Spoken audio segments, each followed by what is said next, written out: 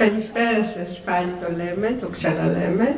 Ε, είπα να το κάνω πιο ζωντανό, πιο ζωντανή την παρουσίαση ε, για το γεγονός ότι υπήρχε λίγο, ε, υπήρχαν λίγη αναστάτωση για τα κείμενα, άλλοι δεν τα είχαν πάρει, άλλοι δεν τα είχαν διαβάσει.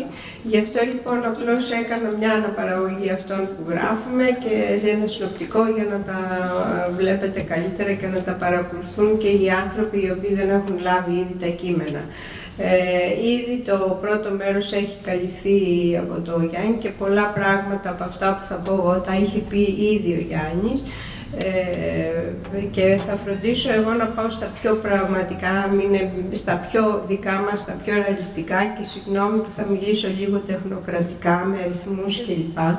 Αλλά ε, εντάξει, πολλοί με κατηγορούν περισσότερο ότι κοιτάω το τεχνικό μέρος και όχι το πολιτικό, αλλά επειδή θα γίνει συζήτηση, το πολιτικό μέρος θα αναπτυχθεί, πιστεύω, στη συζήτηση. Ας πάμε λοιπόν στα τεχνικά πράγματα και ας ε, πούμε, ε, ήδη ο Γιάννης σας είπε ότι για την χρέωση, για το ιδιωτικό χρέος ε, σε σύγκριση με τις ευρωπαϊκές χώρες, όντως υπάρχει και ένας πίνακας που ε, δημοσιεύεται και από το Eurostat που δείχνει ότι η Ελλάδα πραγματικά είναι σε χαμηλά επίπεδα ε, ως ποσοστό του ΑΕΠ, του, του ιδιωτικού χρέους.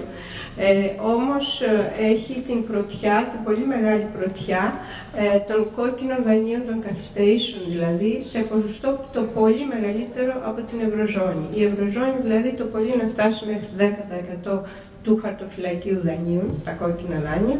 Εμείς ήδη έχουμε ξεπεράσει το 31 ακόμα τόσο και πάμε ε, φουλαριστή θα έλεγα για 70-75. Βέβαια αυτά είναι τα επίσημα στοιχεία γιατί υπάρχουν και καλύψεις, υπάρχουν κάποιες ρυθμίσεις αναχρηματοδοτήσεις, που βαφτι... καθυστερήσεις δηλαδή που βαφτίζονται αναχρηματοδοτήσεις που αν συμπεριληφθούν και αυτές ανεβάζουν πολύ ψηλά τα κόκκινα δάνεια. Ήδη όμως επειδή θα γίνει και άλλη εκδήλωση για τη διαχείριση των κόκκινων δανείων δεν θα επεκταθώ πάρα πολύ στις προτάσεις ιδίως, θα πω μόνο τα στοιχεία για αυτά. Ε, Ας πούμε λοιπόν μια μικρή ενημέρωση τι, με, το θέμα δηλαδή της εκδήλωσης είναι μετά την ανακεφαλοποίηση τι; Μετά την ανακεφαλοποίηση τι έχουμε αυτή την κατάσταση του τραπεζικού τομέα στην Ελλάδα.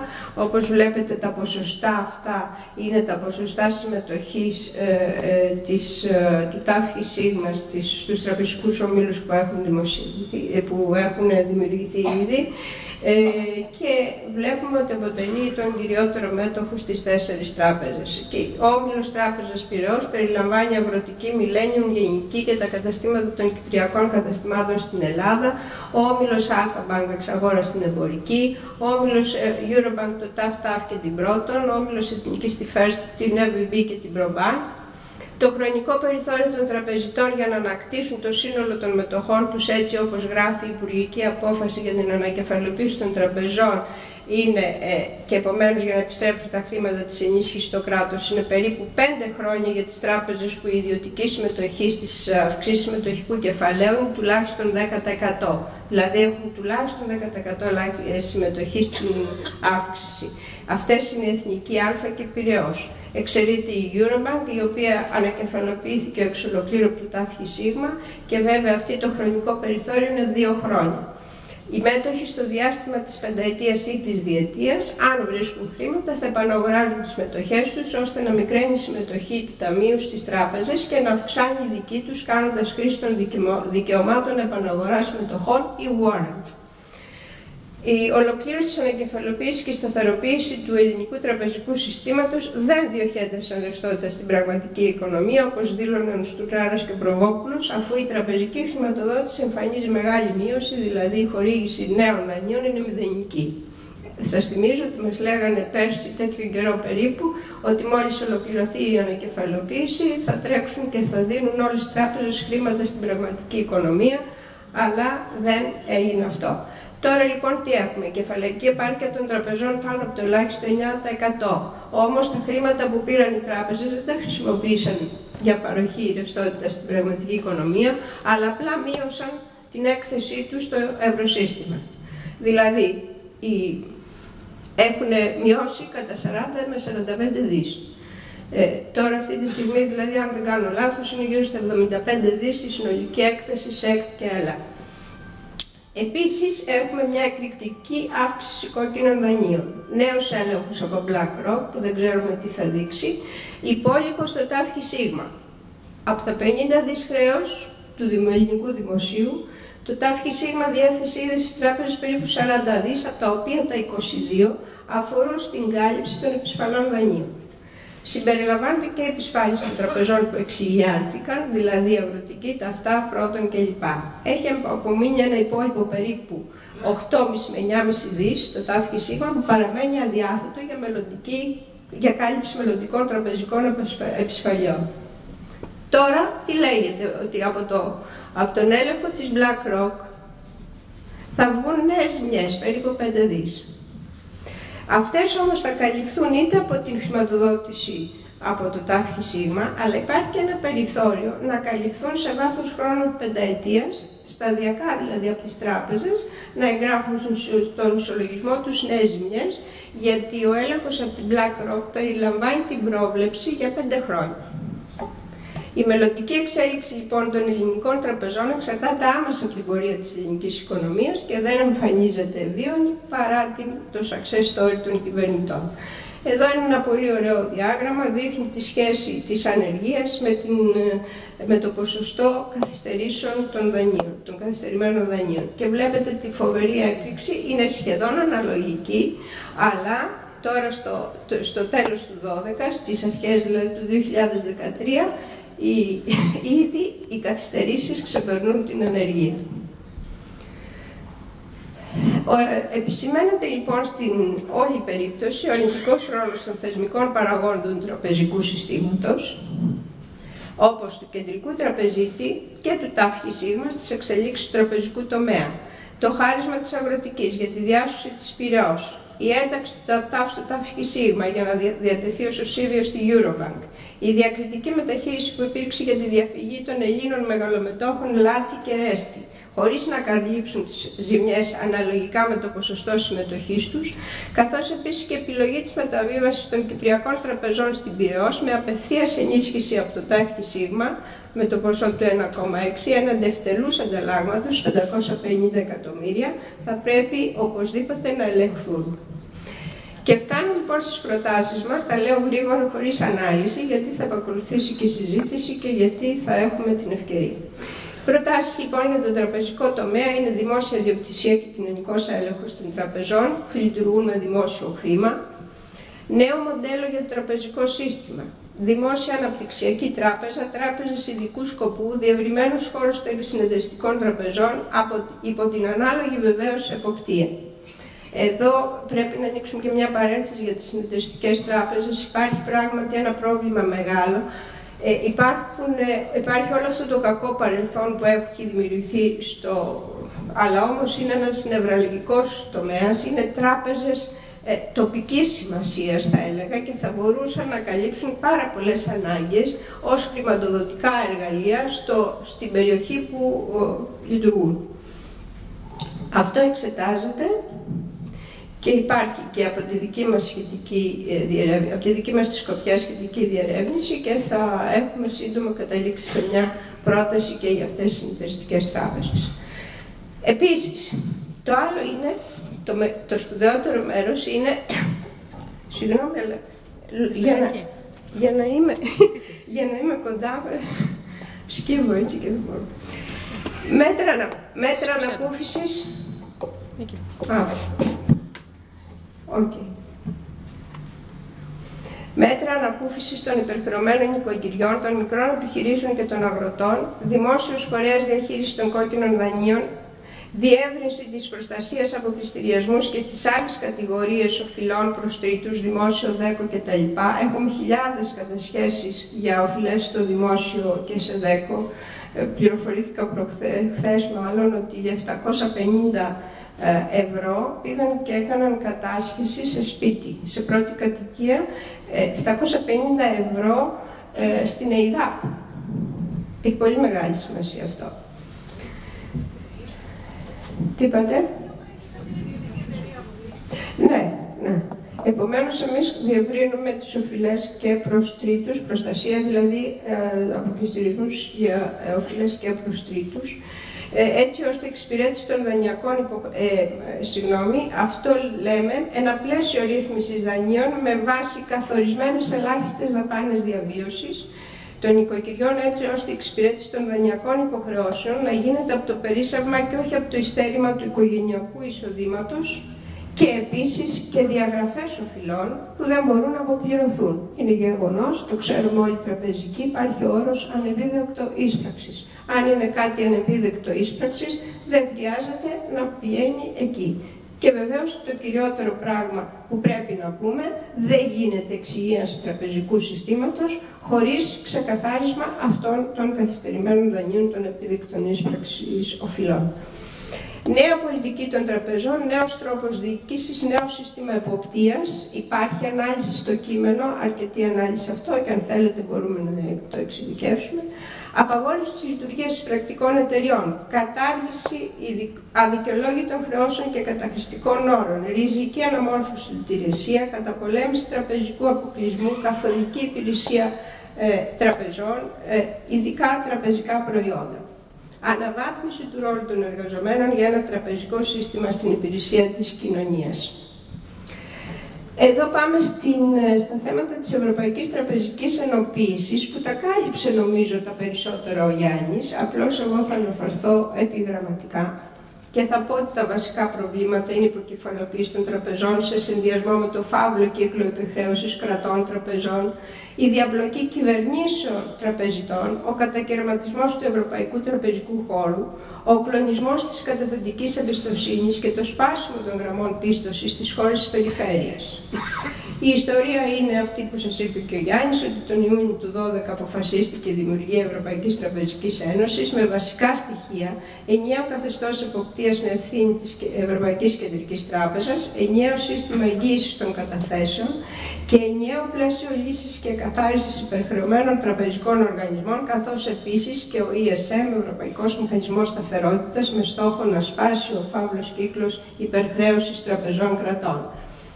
Φαίνεται όμως το Eurogroup της 20 Ιουνίου του 2013 θέτει πολλούς περιορισμούς και προϋποθέσεις για την απευθείας ανακεφαλαιοποίηση τραπεζών, όπως διάθεση ποσού μόνο 60 δις για όλες τις συστημικές τράπεζες της Ευρωζώνης, ενώ το ποσό που θα διαθέτει κάθε φορά ο ESM δεν θα ξεπερνά το 80% του κόστους ανακεφαλαιοποίησης. Επιπλέον, σύμφωνα με την απόφαση του, του ΕΚΟΦΗΝ της 27ης Ιουνίου του 2013, η απευθείας ανεκεφαλοποίηση από τον ESM μπορεί να χρησιμοποιηθεί μόνο μετά την εφαρμογή Bail-in, διάσωση με ίδια μέσα σε ποσοστό 8% του συνολικού παθητικού που είναι μετοχές συνομόλογα συν καταθέσεις. Η ΕΚΤ σε συνεργασία με τις Εθνικές Εποπτικές Αρχές θα έχει την άμεση εποπτεία των τραπεζών της Ευρωζώνης που έχουν ενεργητικό πάνω από 30 δις ή αντιστοιχούν στο 20% του ΑΕΠ της χώρας τους, ενώ το ίδιο θα ισχύσει για όσες τράπεζες έχουν λάβει βοήθεια από τους ευρωπαϊκούς μηχανισμούς. Μόνο όσες τράπεζες περάσουν τα asset quality reviews και τα stress tests θα τεθούν υπό την υποπτία του ESM οι μικρότερες τράπεζες παραμένουν στην αρμοδιότητα των εθνικών αρχών, κάτι που απέστησε η Γερμανία για να μείνουν μακριά από την ευρωπαϊκή εποπτεία οι γερμανικές αποταμιευτικές τράπεζες. Σε γενικές γραμμές από τις ελληνικέ τράπεζες εντάσσονται η μεγάλη ομίλη εθνική Eurobank Α και Πυραιός.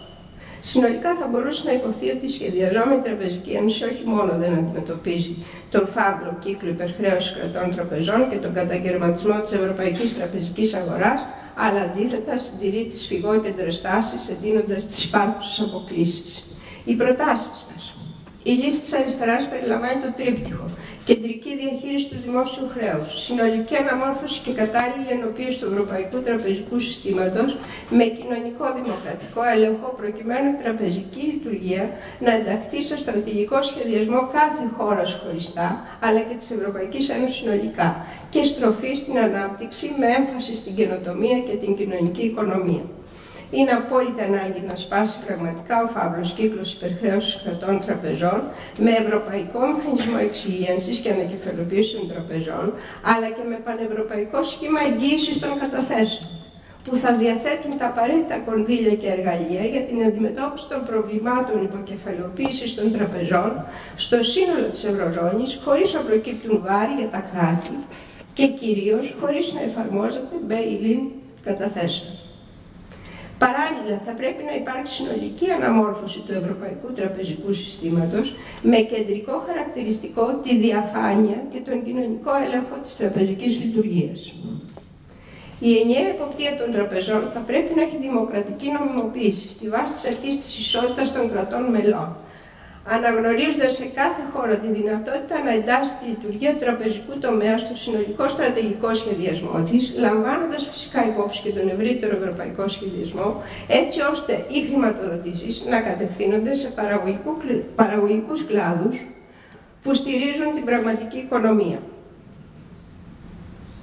Η πρότασή μας διαγραφή από το δημόσιο χρέος του συνολικού κόστους ανακεφαλοποίησης των τραπεζών 25 δις μέσω αναδρομικής απευθείας ανακεφαλοποίησης από τον ESM.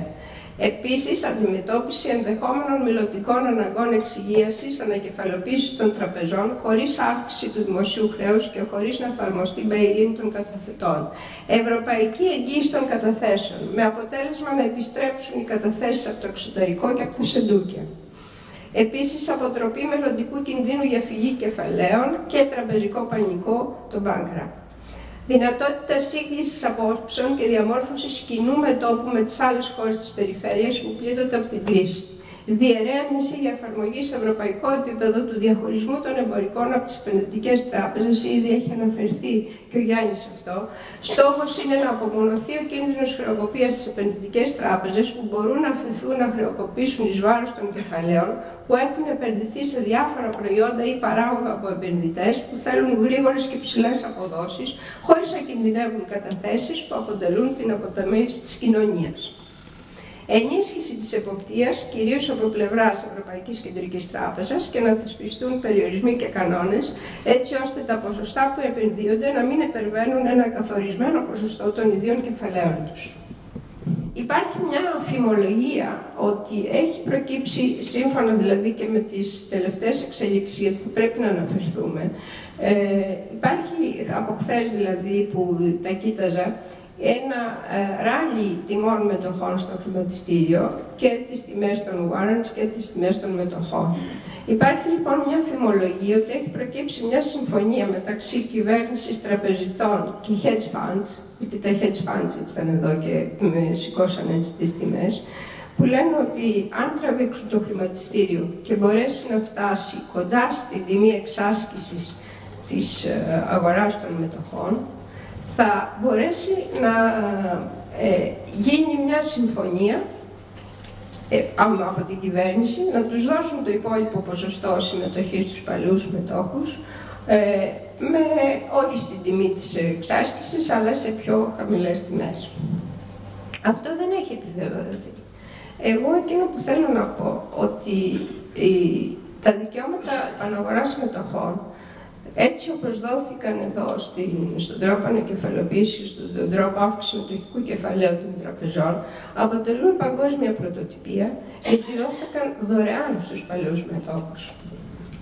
Αυτό τι σημαίνει; Ότι λένε ότι χρησιμοποιήθηκαν ως κίνητρο.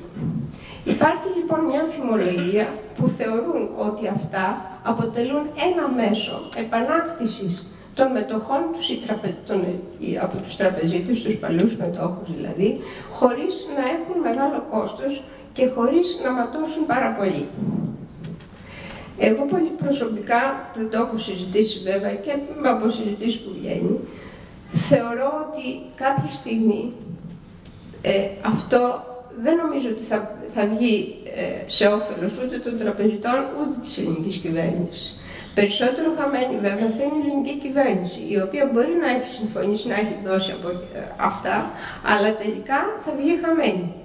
Γιατί θα έχει ήδη δώσει, θα έχει δώσει την υπόσχεση να παραχωρήσει το ποσοστό ε, των μετοχών που κατέχει των τραπεζών, ίσως σε ποσό που θα είναι εξευτελιστικό και όχι μόνο τα 40 δις που έχει δώσει για, την, για το κόστος ε, της των τραπεζών θα πάρει πίσω, αλλά θα βγει και χαμένη γιατί θα, έχει, θα τις μείνουν οι τράπεζες ε, χρεοκοπημένες.